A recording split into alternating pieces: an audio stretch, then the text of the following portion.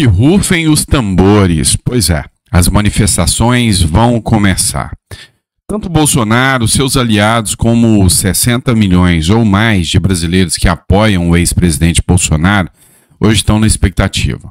Não tem um que não quer saber o tamanho que a manifestação vai ser. A esquerda também está na expectativa de prontidão, de dedinho cruzado, torcendo para que não dê nada.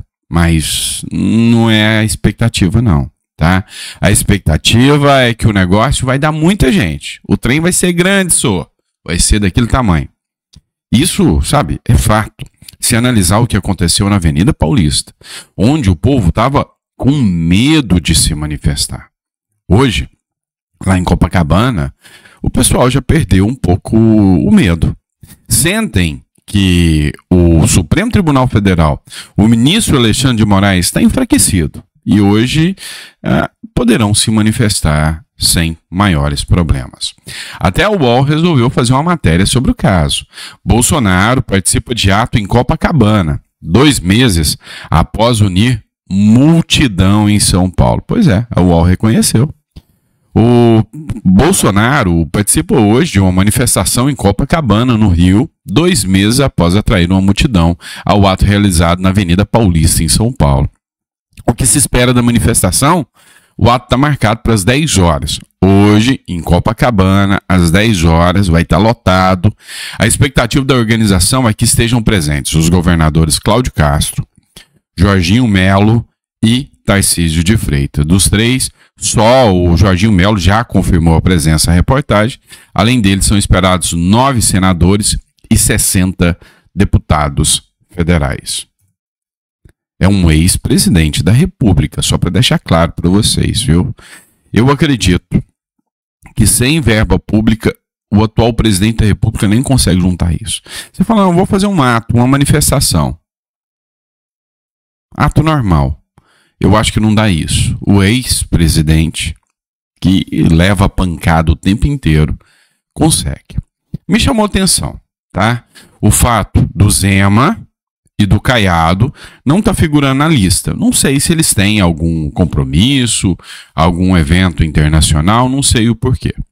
O Zema, eu já percebi que está descolando da hipótese de ser candidato em 2026, tá, pessoal? Já falei com vocês sobre o Zema. Na minha visão, o Romeu Zema tem muito a perder. E ele viu como o sistema age, ele sabe como o sistema vai agir. O Zema tem declarado, uh, só na declaração eleitoral, viu? Mais de 128 milhões de reais com as fábricas, com, a, com as lojas dele. Então, imagina um cara, se o Bolsonaro fosse o dono disso, já tinha fechado, já tinha falido, já tinha perdido tudo. Tô mentindo ou tô errado? Então, o Zema, eu vejo que não, não prosperou a ideia de ser o candidato para 2026. O Caiado está no páreo ainda. Está no páreo. Mas eu acho que ele não pode descolar e nem deixar de participar de um evento como esse, senão por uma questão de saúde. Né? Ou algo imprescindível para o estado de Goiás. Já o nome Tarcísio de Freitas, ah, meu amigo, tem que abrir o olho.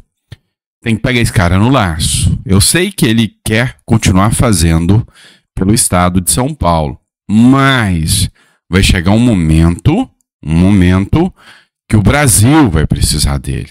Entenda, o Bolsonaro preparou o Tarcísio não foi para que o Tarcísio fosse o governador de São Paulo. Bolsonaro sabe que ele preparou o Tarcísio é porque um plano B era necessário. E se o Bolsonaro se mantiver inelegível, o nome que será inquestionável nas urnas contra Lula, ah, é Tarcísio. Imagina o Tarcísio enfrentando a Janja, né? Ou o Haddad. Pois é, não vai sobrar para ninguém. Vai ser mais ou menos igual o Nunes. Não, bem diferente do Nunes mais o Bolos. Porque o Nunes, o bolsonarista nem gosta muito do Nunes, mas vai votar nele porque ele é o apoiado do Bolsonaro para tirar o Boulos. Agora, e o Tarcísio, que o bolsonarista gosta dele, é o apoiado por Bolsonaro contra o Lula e que está fazendo um boom no Brasil, um boom negativo. Né?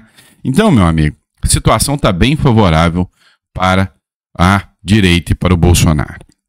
Mas vamos lá, vamos falar do Alexandre de Moraes, porque ainda não começou a manifestação, é a partir das 10 horas. Eu vou pegar alguns conteúdos já, se der, no meio-dia eu já trago conteúdo para vocês. Porque vocês sabem que os vídeos são gravados. Se não, aí vai ser o, o editorial das 4 horas. Eu já venho trazendo os aparatos para vocês. Vou ficar hoje por conta de acompanhar tudo e vou tentar colocar aqui sempre é, em tempo real. Combinado? Fechou? Beleza. Vamos lá, agora vamos falar do ministro Alexandre de Moraes. O Schellenberg, ele fez um vídeo, olha só. Ele gravou um vídeo em duas versões. Uma versão em português e depois falando a mesma coisa em inglês. A versão em português, ah, meu amigo, tudo quanto é influenciador, deputado, senador e anti-Lula de, direi de direita postaram um vídeo. O em inglês, o Elon Musk já fez o trabalho. O Elon Musk só tem, sabe, assim, é um pouquinho mais do que o Lula, só 180 milhões de seguidores mundo afora, tá? Esses 180 milhões de seguidores mundo afora viram um vídeo do Schellenberg aqui na versão em inglês. E você vai assistir agora na versão em português aqui comigo. Ah, dando crédito aqui, a publicação é do Marcel Van Hatten, tá? Michael Schellenberg gravou esse vídeo em português para acabar com as narrativas conspiracionistas. E aqui o Marcel Van Hatten chama o Alexandre de, de Moraes de ditador, né? Conspiracionistas do ditador Alexandre de Moraes. A versão em inglês desse vídeo foi publicada por Elon Musk para seus mais de 180 milhões de seguidores no X. O ditador está exposto ao mundo. É aqui o que disse o Marcel Van Hatten. Assiste aqui comigo. Oi, amigos. Aqui fala Michael Schellenberger fazendo reportagem para Public.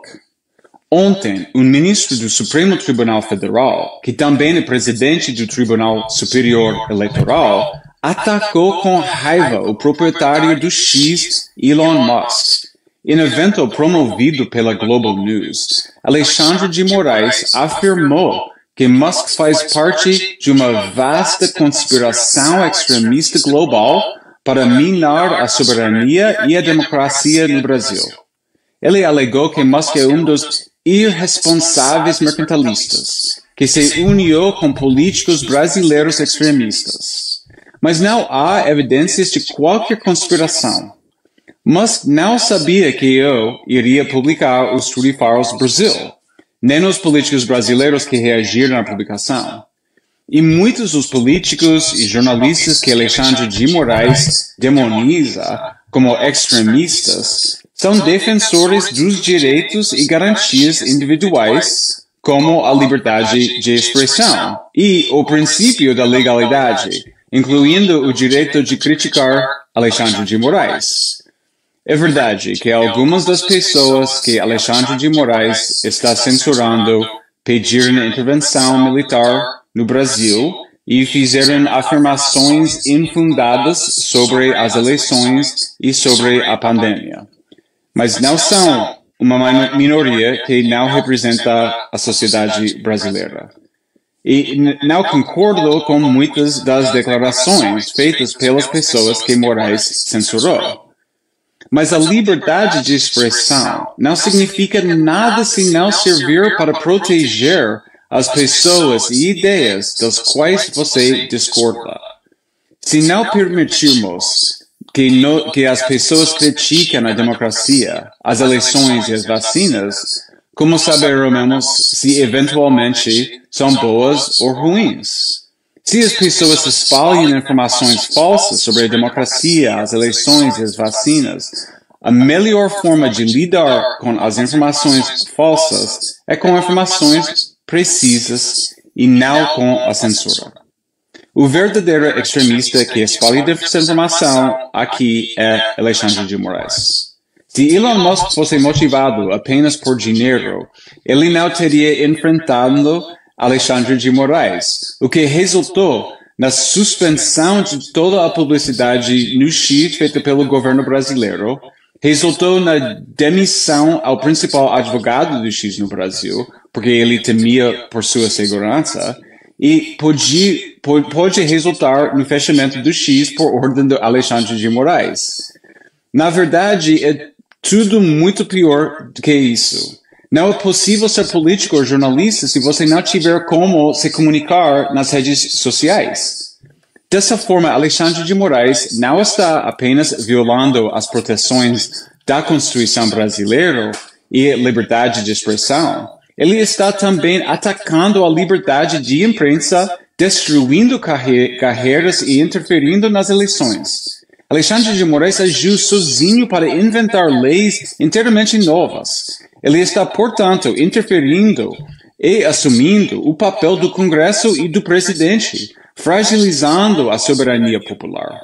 Isso significa que ele está se comportando como um ditador. E agora, Alexandre de Moraes instrumentalizou a Polícia Federal, inclusive contra mim, por eu ter publicado os arquivos do Twitter no Brasil. A Polícia Federal entregou dois relatórios a Alexandre de Moraes, um no dia 18 de abril e outro dia 19 de abril. Os relatórios consistem numa gigantesca teoria de conspiração sugerindo ligações e relacionamentos que simplesmente não existem. Os relatórios me colocam em destaque e sugerem que eu sou de alguma forma suspeito apenas por eu ter pago, pagado por uma assinatura no X, uma assinatura que eu paga para Elon Musk. Mas não há nada de suspeito nisso. Eu que estou pagando a Musk, não o contrário. E como observa o relatório da Polícia Federal, Elon Musk fica com uma percentagem da receita das pessoas que assinam o meu conteúdo no X. E os relatórios afirmam que as pessoas que Alexandre de Moraes exigiu que fossem censuradas obtiveram acesso limitado para se comunicarem através do X, em particular no X Spaces, que permite conversas ao vivo. Em outras palavras, Alexandre de Moraes está totalmente obcecado em silenciar seus inimigos. Não basta que o X tenha perfis bloqueados, ele também não quer que essas pessoas possam usar as suas vozes. Contribui ainda o fato de que o governo brasileiro paga diretamente a mídia de notícias brasileira. O governo de Lula aumentou em 60% o financiamento governamental apenas para o Globo. E o Globo é a maior empresa de comunicação no Brasil. Ela tem exigido mais censura e feito propaganda a favor de Moraes. E o governo brasileiro parou de anunciar no X depois que Elon Musk se manifestou publicamente contra a censura. Alexandre de Moraes é um autoritário brutal. A sua censura é tão perversa quanto qualquer censura imposta por qualquer outro governo ditador, a exemplo do que já aconteceu no passado brasileiro ele procura, como juiz, eliminar, particularmente políticos e jornalistas da vida pública. Ele não é, ele, essa não é a primeira vez que Moraes instrumentaliza a Polícia Federal. Ele, ao chamar Elon Musk de mercantilista estrangeiro, Alexandre de Moraes está usando exatamente o mesmo tipo de retórico nacionalista que ele usou para acusar seus inimigos de utilizar. Por que Alexandre de Moraes tem tanto poder? No Brasil, as pessoas me disseram que isso acontece porque Moraes controla muitos processos judiciais envolvendo pessoas poderosas, principalmente políticos e outros juízes. A solução é o Congresso Brasileiro abrir uma investigação conhecida como uma Comissão Parlamentar, Parlamentar de Inquérito, ou CPI. Uma CPI pode investigar abusos de autoridade do Poder Judiciário e é obviamente que isso está acontecendo no Brasil.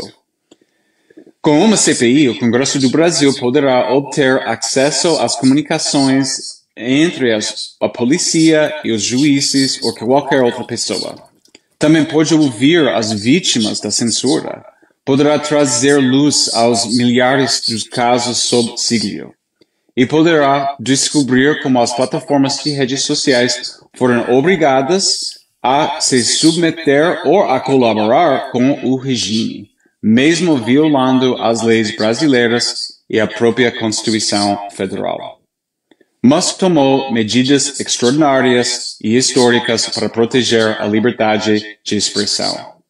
O mesmo aconteceu com o Congresso dos Estados Unidos. Agora é hora de o Congresso brasileiro agir contra o extremismo antidemocrático de Alexandre de Moraes. E deve fazê-lo antes de que o extremista Alexandre de Moraes comece a prender mais inimigos políticos, acabe com o X e, portanto, cerceie a liberdade de expressão no Brasil.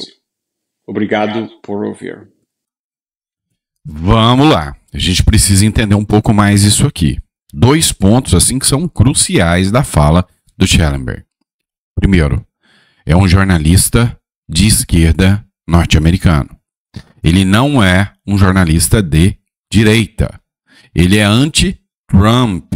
Ele é um jornalista de esquerda, mas observando o Brasil com os olhos de alguém imparcial. Correto? Então isso é importante a gente saber. Segundo, isso aqui que ele acabou de dizer foi publicado foi repostado pelo Elon Musk. E aí o Elon Musk já cutucou o Alexandre de Moraes, já cutucou o Lula, e aí tem um cara que vai ser cutucado pelo Elon Musk agora, que entrou no radar do Elon Musk, um cara chamado Arthur Lira. E o Elon Musk, nesse vídeo, acabou de entender qual é a importância de uma CPI do abuso de autoridade. Essa que já tem assinaturas, essa que já está pronta para rodar. O Arthur Lira acaba de ficar entre a cruz e a espada.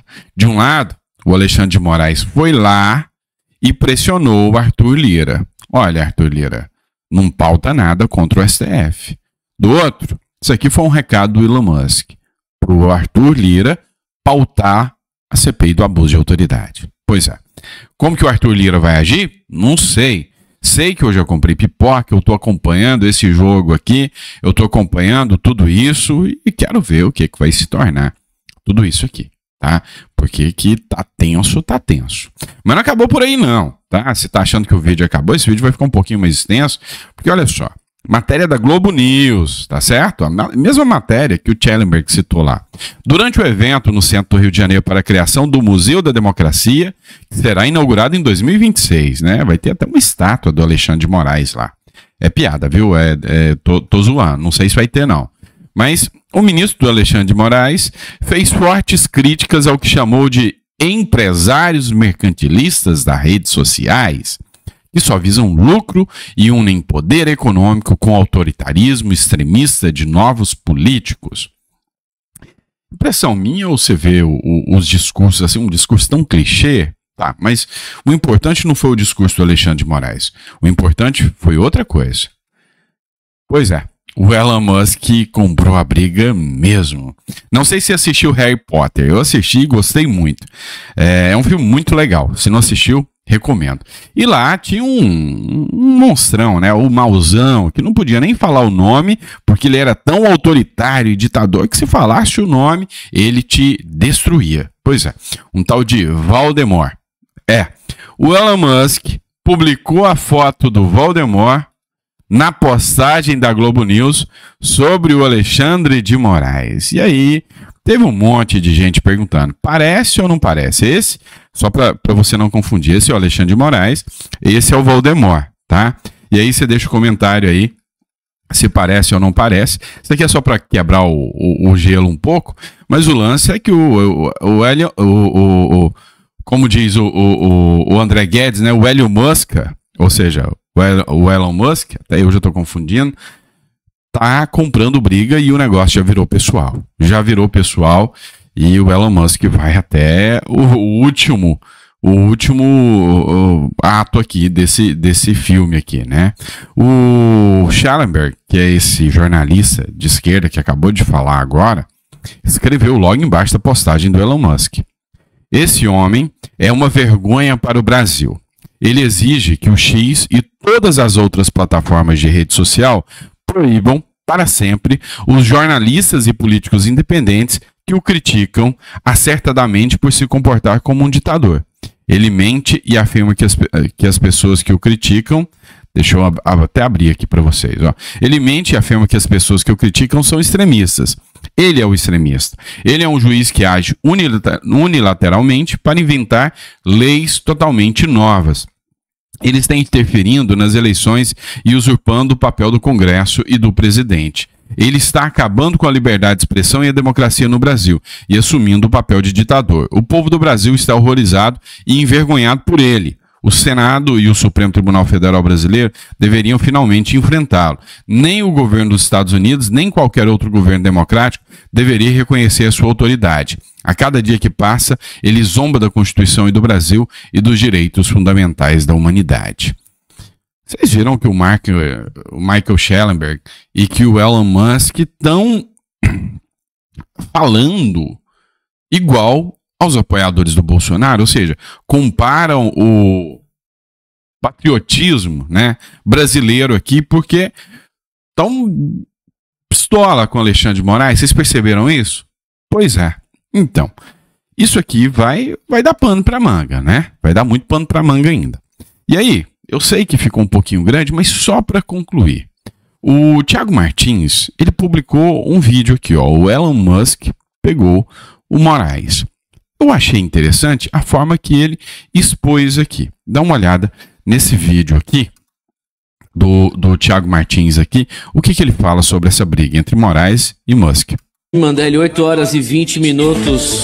Também vamos ouvir o comentário do nosso querido Tiago Martins, pré-candidato a vereador da direita da cidade de Ilhéus. Tiago, bom dia. Bom dia, Timóteo. Bom dia, Tati. Bom dia, Vanessa. Muito obrigado de novo, mais uma vez. O Timóteo é que não é um Felipe Neto com o celular na mão. Não é um cara preocupado em ganhar clickbait, ganhar dinheiro com visualização. E ele também tem, na sua empresa, um grande suporte jurídico e tem certeza de, de que antes de externar qualquer tipo de coisa, ele se embasou ali nas leis do Brasil. O, o, o Twitter, hoje o X, para funcionar em qualquer país, tem que se adequar e conhecer as leis daquele país para isso seu suporte jurídico. Então tenho certeza que antes de fazer qualquer coisa ele se embasou disso. E qual foi a melhor maneira que ele encontrou? Quando ele começa a ler, a entender o modo de perseguição do Brasil, ele viu que as pessoas eram perseguidas a partir do momento que questionavam o Alexandre de Moraes ou exibiam uma opinião contrária. E ele poderia muito bem, de forma é, é, oficial pela empresa, anunciar o que estava acontecendo, só que ele fez o que acontece no Brasil. Ele foi lá e questionou Alexandre de Moraes. E além de externar o que está acontecendo no Brasil, ele fez o Alexandre de Moraes se comportar como tem se comportado com os brasileiros, perseguindo. Então ele questionou o Alexandre de Moraes, aquela frase que começou tudo, por que você tem, tem tentado colocar tanta censura no Brasil?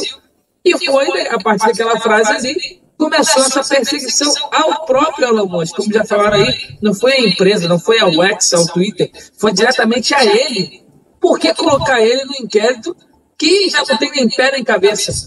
Ele acabou externando para o mundo o comportamento do Alexandre de Moraes. Não tem como você investigar uma pessoa, como falaram aí, sem ter indício, sem ter prova. Qual é a acusação? Ele disse que iria fazer, que poderia fazer, inclusive disse que perderia o lucro se fizesse isso. E até o momento não fez, mas mesmo assim já está sendo investigado. Ou seja, ele externou a situação e ele mostrou na prática como o Alexandre funciona como é, Tati falou, uma mente brilhante. Ele conseguiu expor ao mundo o comportamento do Alexandre de Moraes da Suprema Corte. E o mais assustador, que ele não pegou só o, o Supremo Tribunal Federal, não pegou só o Alexandre. Ele acabou também externando o comportamento do governo e mostrando o alinhamento do governo com o judiciário. Por quê? O, o governo, por ser outro poder, deveria, no mínimo, querer saber quais eram as alegações do, do, do, do Elon Musk para saber se de fato existe um poder aí exorbitante sobre a lei do Brasil. Mas o nosso governo federal nem quis saber. Automaticamente, o judiciário e o governo federal se alinharam para se defender, mostrando que existe uma aliança entre os dois, que existe ali um poder único, existe um ideal único e eles estão dispostos a tudo para se defender, até mesmo ignorar uma denúncia séria de um homem sério que tem constituído coisas sérias para o mundo tecnologia que tem ajudado o mundo a avançar, ignoraram tudo isso e levaram em consideração apenas a união que tem entre o Poder Judiciário e o Poder do Governo Federal. Esse aí é o, é o mundo está assistindo o que está acontecendo no Brasil. Sem sombra de dúvidas, foi atacada de mestre de gênio da Musk. Vamos lá, pessoal. Vendo tudo isso que você assistiu, a pergunta que eu vou te fazer para encerrar esse editorial é: quem você acha que vence essa? O Alexandre de Moraes, com o poder do Supremo do seu lado e o governo Lula do seu lado, ou o Elon Musk com o poder do dinheiro, da informação e da inteligência do seu lado? Qual dos dois ganha essa, essa parada esse jogo aí? Eu acredito que o Elon Musk aqui tem mais bala na agulha. E você? Coloca no comentário que eu quero saber. Vou tentar trazer algum conteúdo já sobre as manifestações que estão acontecendo aí no Brasil. É, vou tentar trazer o, o, algum conteúdo sobre isso aqui, tá? Já no editorial do meio-dia. Fechado? Abraço, pessoal. Fica com Deus e até próximo editorial.